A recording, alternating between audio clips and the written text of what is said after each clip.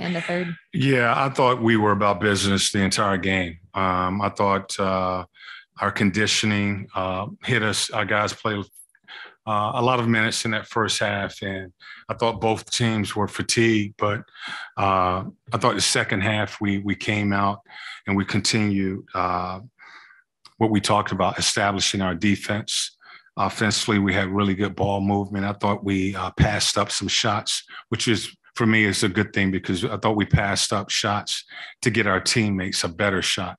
And when you play in a rhythm like that and you play uh, together like that uh, with uh, the guys we have on this roster, it'll be tough to defend us. You know, I thought we played selfless basketball tonight.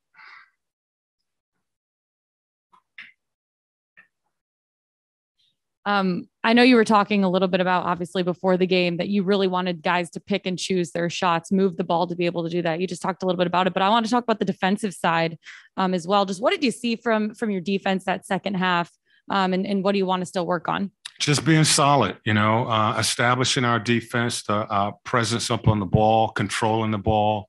Uh, th- I thought we did a little better job uh, second half of controlling the basketball. Uh, at the half, they had 26 points in the paint and we gave up 54 points in the paint our last game. You know, so that was an area we wanted to do a better job.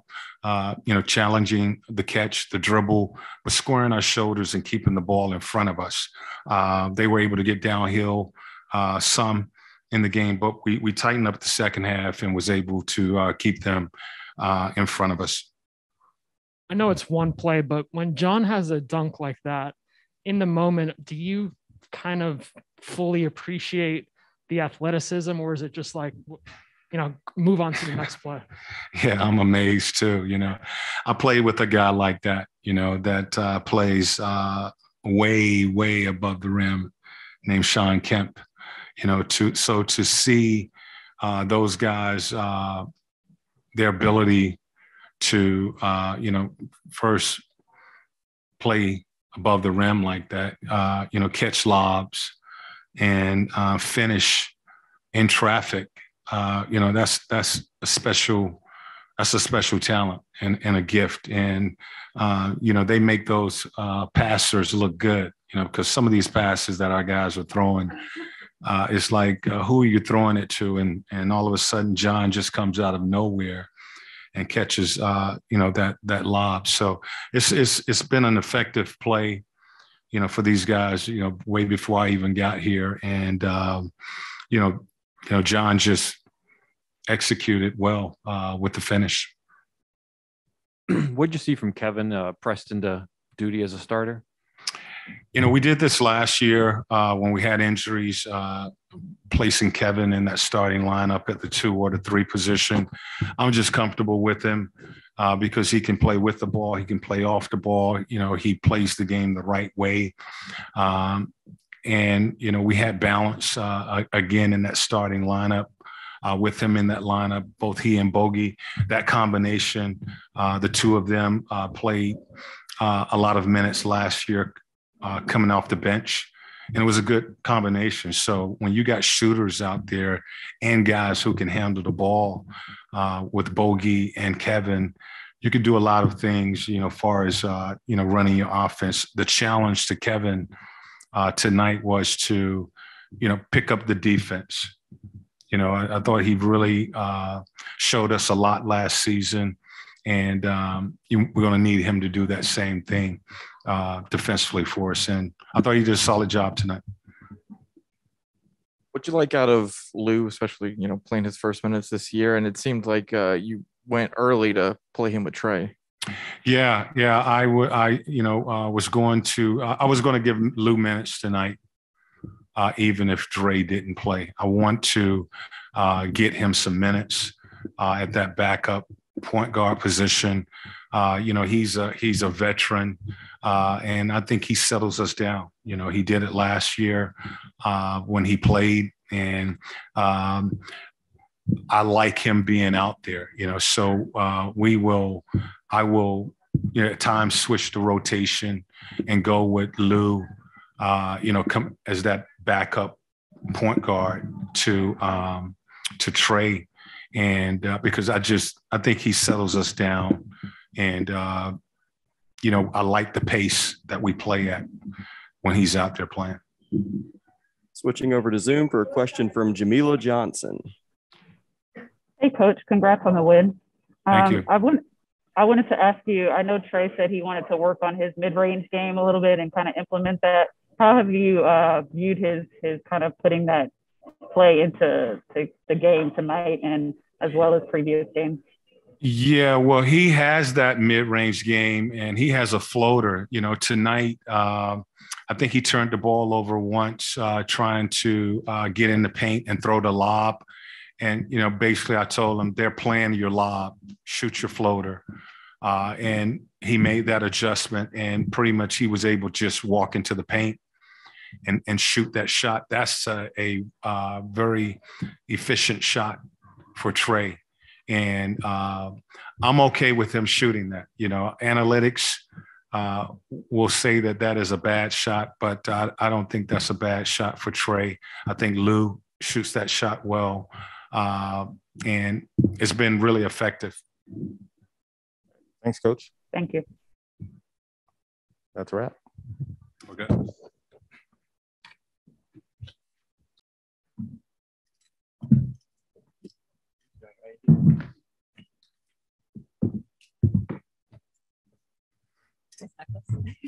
Yeah. Um, Trae, I gotta ask you, just when John is pulling off just monster dunks like that, how much energy? What is it like to watch it? I guess first. Oh, it's it's crazy. Like, I mean, I, I saw from my angle, I had the craziest angle because I saw his whole arm back, and then uh, yeah, no, I had the I had the best angle in the house, so that was crazy. Nate made uh Nate kind of said that some of the lobs or some of the passes John has got are not like exactly perfect, but he's able to still finish it. Just Mhm. how how impressive is it to and how much energy does that kind of pump into the team? Yeah, I mean that's I mean it's big time. That's a skill. Like what he does is that's a skill. Like being able to to to find the ball in midair, catch the ball and still find a way to get it in the, the rim. That's a skill. And uh not a lot of people have that. And I mean we're blessed to have him. And I mean he can do a lot of other things, but being able to catch lobs in different angles is is big for us. How important was that third quarter for you guys? 10 assists in that quarter alone. And it seemed like that was when y'all kind of started to pull away. Yeah, we, we got up early too. We got up 13 in the first half, and then they came back and made it a close game before halftime. And then uh, we got up to 13 again, and we we wanted to make a, another push and not let them get back into the game. And I think they made one more run, but at that point, I mean, we kind of put put our foot on their necks and kind of made them a little bit more tired. And uh, they were missing some guys tonight, so it would uh, it was good for that for us.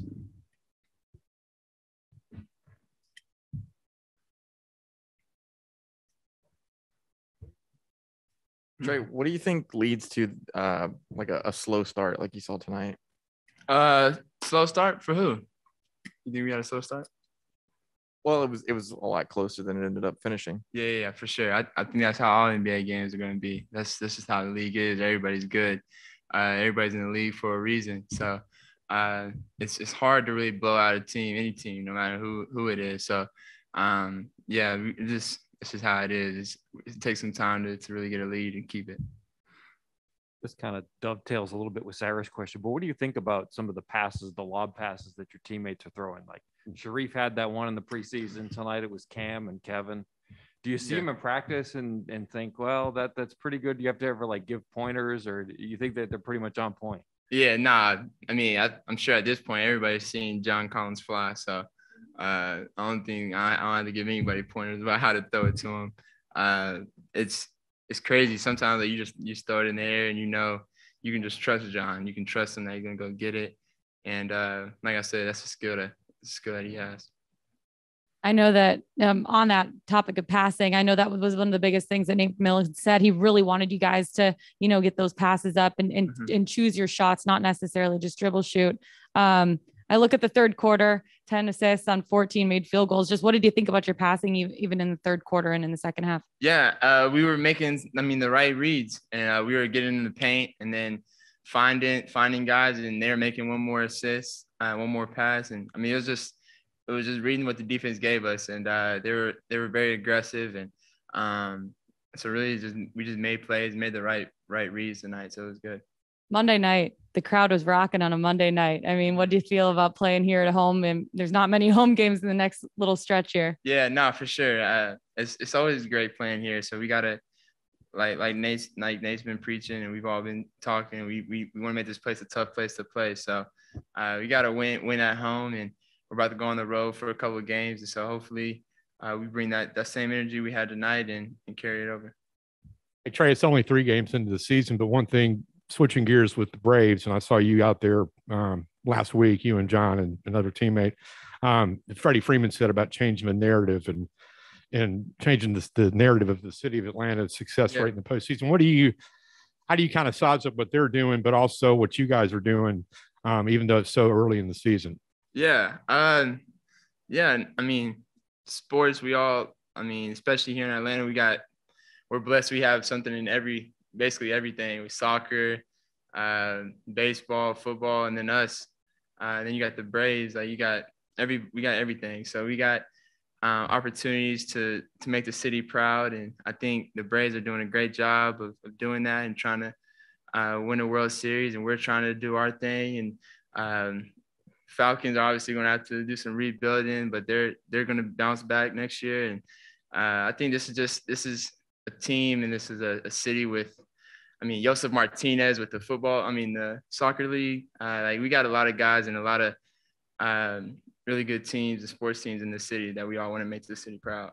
And the city's embraced you just as the leader of this team. What's that been like, you know, to to be the face of the franchise and you know to put your your best foot forward with that? Um, I mean, it's an honor. I mean, I just try to represent um, myself, my family, and I mean this this organization the best way I can. So I know I'm I'm representing more than just myself. So I try to I try to walk every step I take and know I'm representing representing a lot more than myself. So Do you have a prediction for the World Series? ooh, I mean, I don't know. It's gonna be it's gonna be close. I mean, I, the, both teams are good. I know we're gonna pull it out. So I don't know. I'm I'm gonna definitely be at a couple of games, at least one. Switching to a Zoom question from Edwin Powell. Trae, this team tonight was without Cade Cunningham and Jerami Grant. This probably will look a little bit different when you play them uh, again. Uh, just curious on what are your thoughts on what have you seen out of the Cunning, Cunningham kid before? Uh, yeah, I watched a couple of games in uh, in college. He had probably his best game in college against us uh, in Norman. So I got to see that game. He's he's talented. He can play. Uh, so yeah, they're going to be. I mean, better obviously when he gets back, and um, he's going to be a, big piece of their franchise moving forward. So they got a good one. Next question from Cassidy Hubbarth. Hi Trae. Um, you know, just kind of picking off, pick, piggybacking off of some of the um, other questions. You know, you're established um, as you know one of the faces of the city of Atlanta. Obviously, those fans there, um, coming off of a, a, the playoff run, have established beliefs that you're you're a contender. How do you feel going into this season as an established superstar um, in in in the league? Um, I mean, I to be honest, I don't really like. I mean, uh, feel like like that. Like I just, I never get caught up in in what other people think. Um, I'm I don't know if he's gonna answer your question, but I just I'm just focused on winning. Like I just uh came into the season um trying to be mentally ready to to take on any challenge. I know guys are definitely gonna be more prepared for us and um wanting to come at us a little bit harder and we're not going to sneak up on anybody this year. So i, I definitely know that but uh, i think it, it just it just makes us have to be better. It makes me have to be better. Uh, just knowing everybody's going to give us their best shot and uh, not not take it easy on us. So uh, i just think it just makes us better Final question from Jamila Johnson. Hey Trae, congrats on the win. Um, we saw you go behind the back to uh, Bogey in the, the corner for the three, and then he kind of returned the favor and went behind the back to you. Do you guys ever go back and forth in practice with uh, passes like that?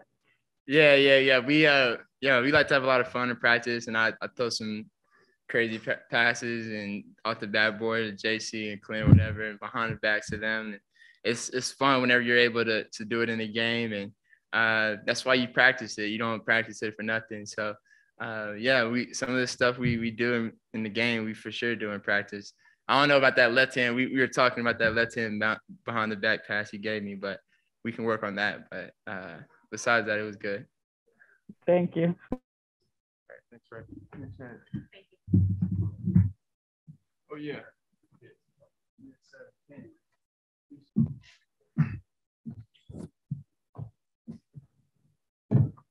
Oh, yeah, I got my game pad underneath. There we go.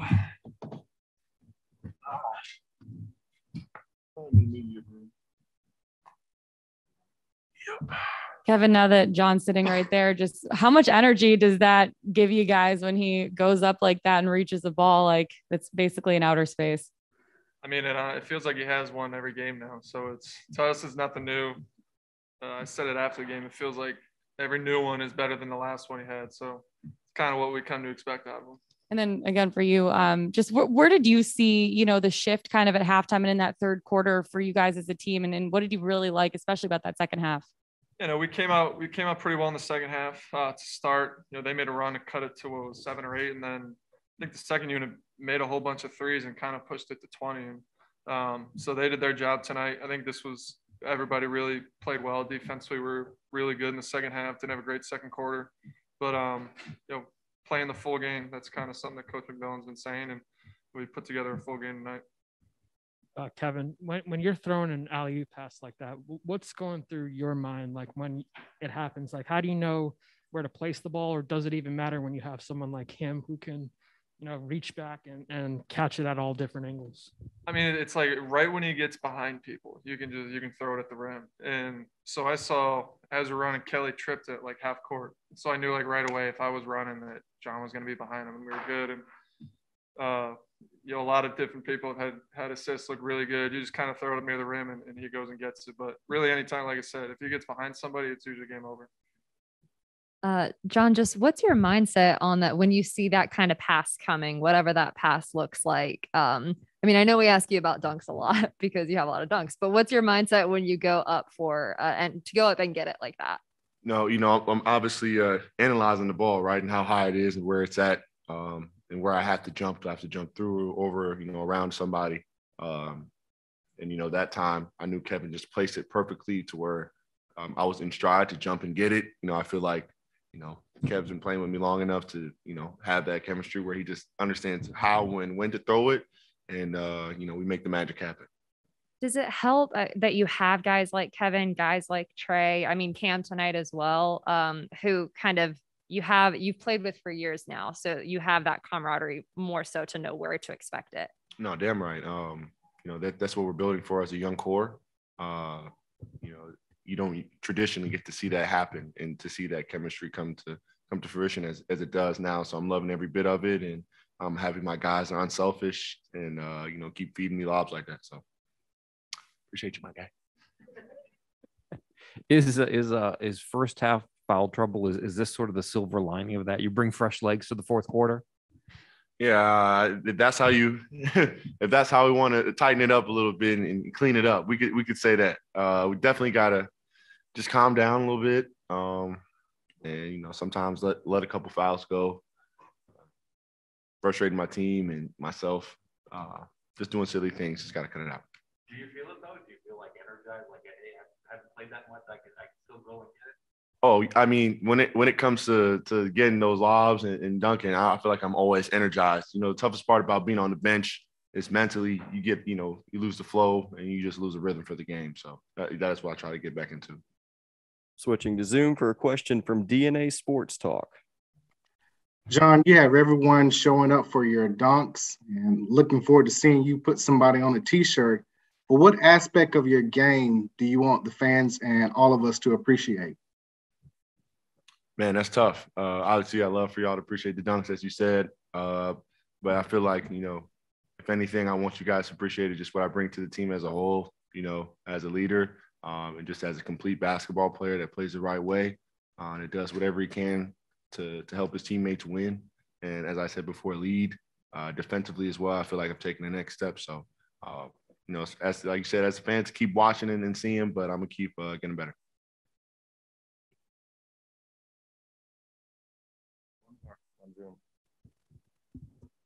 One more Zoom question from Jamila Johnson.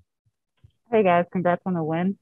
Um, of course, defense is very important in all games, but especially in a game like tonight where you guys shots aren't falling as much. How important was the defense tonight, and how you guys stepped up with that? No, it was extremely important. Um, losing one of our defensive anchors, anchors and Dre tonight, so we I feel like we all understood we needed to just you know come together, um, stay locked in, and uh, talk to each other, communicate. Uh, we still the deal. Another Zoom question from Cassidy Hubbarth. Hey guys, just a, a, kind of macro question here. I mean, you talked about just the, the chemistry between you two, obviously with with the passes, um, but as far as like the core group, a lot of you guys got new contracts. What kind of confidence and chemistry has carried over into this season from your playoff run in after you know pretty good off season for namely you two as well? Yeah, I mean it's I mean, we're definitely we're early in the process. It's only it's the third game of the year, um, but it's definitely something I think to start the year, all of us could kind of feel just that uh, the connection and you know obviously I think it takes a little bit for for teams to get the flow of the year and, and everybody used to playing with each other. But some ways we feel like we're one step ahead and we just obviously we got to tighten some things up. Um, getting a lot of guys back from injury, getting everybody on the court, getting a rotation set, and um, you know, we were we're a really deep team, and that's something that we pride ourselves on being. And uh, that chemistry, obviously, we, a lot of guys played big minutes last year together, but you know it's still really early in the season. We still got a lot of growing to do. John, I saw you at the uh, Braves the other night. Um, what's uh, what's it, what was it like for you last year going through having the city get behind you like the city's getting behind the Braves right now? And where do you sort of see the Braves? Uh, how do you size up what the series is going to do? You know, um, you know, I got to go Braves all the way, and, and whenever we, whichever way the series goes. Um, but in terms of the fandom for the city, you know, Atlanta's a, an amazing city to be in when it's playoff time. Uh, you know, you can just see the rush and the fans and, and the excitement from all the, you know, the true um, Atlanta fans, you know, ready to support their team, ready to see us win. Um, you know, I always envision us going down Peachtree um, with the with the Larry O'Brien. So I'm hoping you know the Braves can do the same as well. Um, Kevin, I know you're a baseball guy. Uh, sorry to ask a non-basketball question, um, but what do you what do you see for this series? What are your thoughts going into it?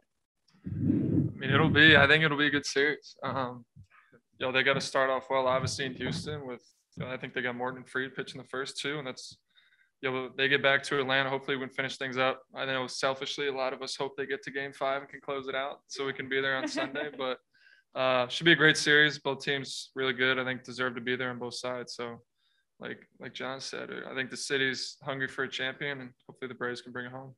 Braves, baby. Thank you guys. Oh, thank you guys. Thank y'all.